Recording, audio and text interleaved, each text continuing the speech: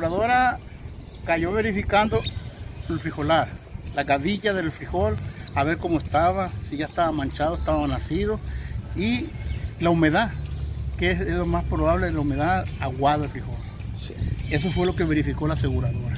Eh, Después de, de- de esto, ¿qué procede? ¿Va a haber pago? ¿Habrá algún...? Pues eso esperemos nosotros por la aseguradora, según va a haber un apoyo para cada agricultor, más no se sabe cuánto se va a dar por hectárea. Eh, ¿Esta aseguradora de dónde viene? Viene de Tepic. Sí. Este, ¿Y cómo ven que la aseguradora ya está entrando a, a cubrirles los daños?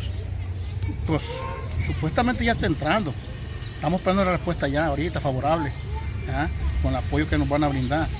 Porque si hubo mucho frijol dañado.